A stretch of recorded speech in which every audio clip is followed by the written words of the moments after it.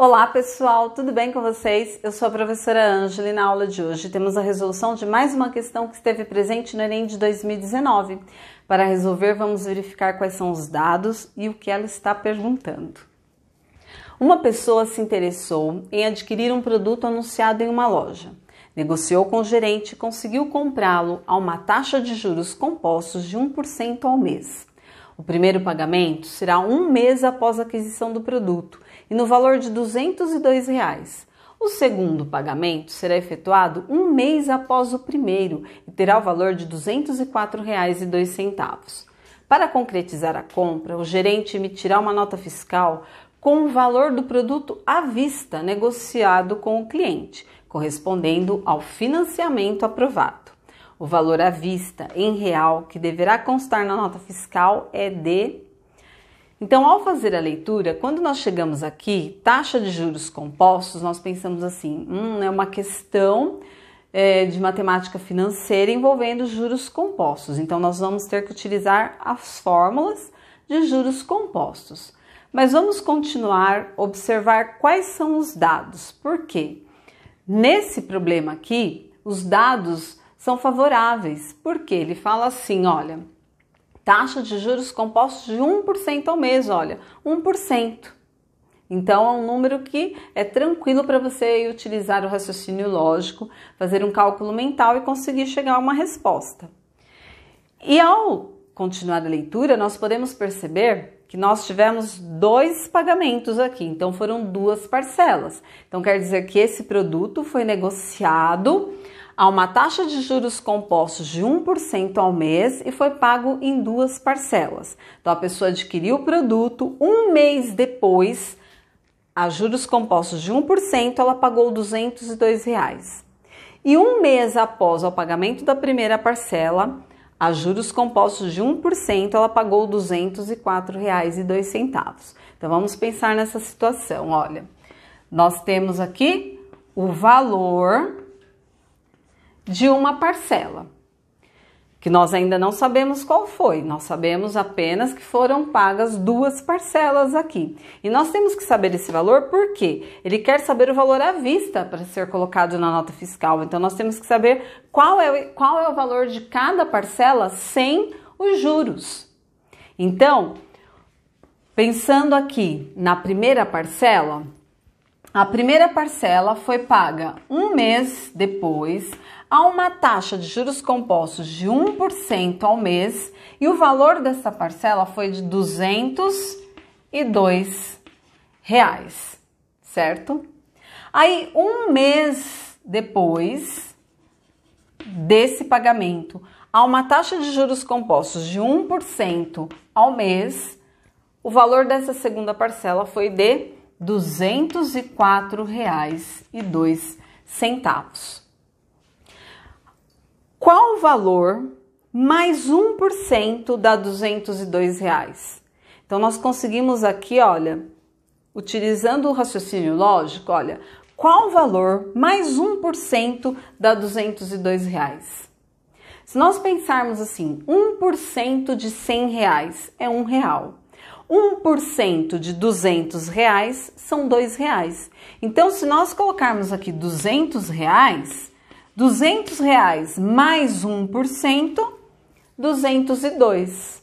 Lembrando que foi negociado a uma taxa de juros compostos, então esse juros ele vai aumentando. Olha, era 200 reais, um mês depois ficou 202 reais. Um mês depois, mais 1%. Então, 202 reais mais 1% vai ser igual a 204 reais e dois centavos.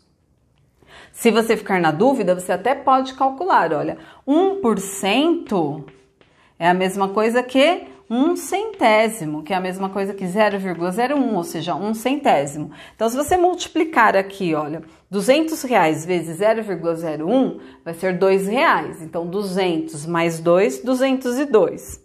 Se você pegar esse 202 reais e multiplicar por 1%, 202 vezes 0,01 vai ser igual a R$ 2,02. Aí, 202 reais mais R$ 2,02 você chega a R$ 204,02.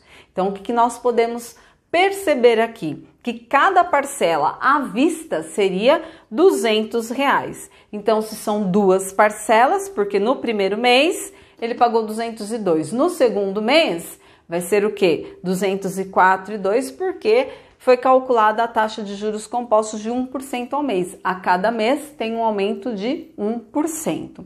Então bastava somar 200 reais mais 200 reais e aí nós teríamos aqui 400 reais. E utilizando a fórmula, como que nós poderíamos calcular? Nós poderíamos utilizar a seguinte fórmula: montante, que é o valor futuro, que no caso é da parcela, vai ser igual a capital, que é o valor atual que nós não sabíamos quanto que era, multiplicado por 1 mais a taxa. Tudo isso elevado a. Tudo isso não, né? 1 mais i elevado ao tempo, que no caso é um mês. Então, para essa primeira parcela aqui, ficaria como?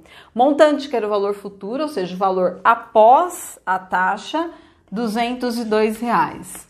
Capital seria o valor atual da parcela, que a gente não sabia quanto era. C, permanece o C, que aí nós vamos calcular. Multiplicado por quanto? 1 mais a taxa. Quem é a taxa? 1%, ou seja, um centésimo.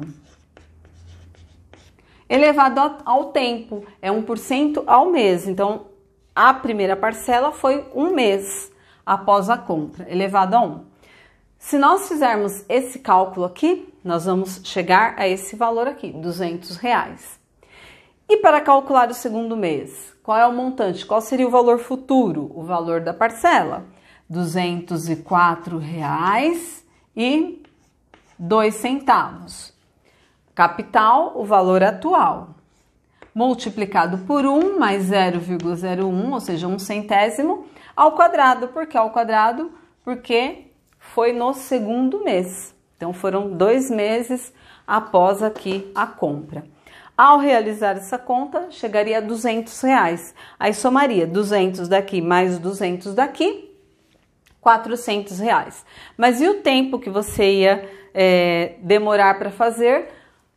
Ao observar os dados e utilizando o raciocínio lógico, você chegou de uma forma mais rápida e prática, lembrando que os dados nos favoreceram. Então, por isso a importância de observar quais são os dados e o que está sendo perguntado. Então, ao ver aqui, olha, 1%, né? Agora, se fosse 1,74%, aí já seria mais complicado. O ideal seria utilizar a fórmula.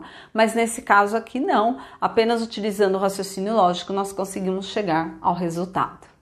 Bom, pessoal, espero que vocês tenham gostado do exemplo e aprendido com ele. Se gostou, deixa um gostei, se inscreve aqui no canal se você ainda não for inscrito. Muito obrigada, até o próximo vídeo ou a próxima dúvida. Tchau, tchau!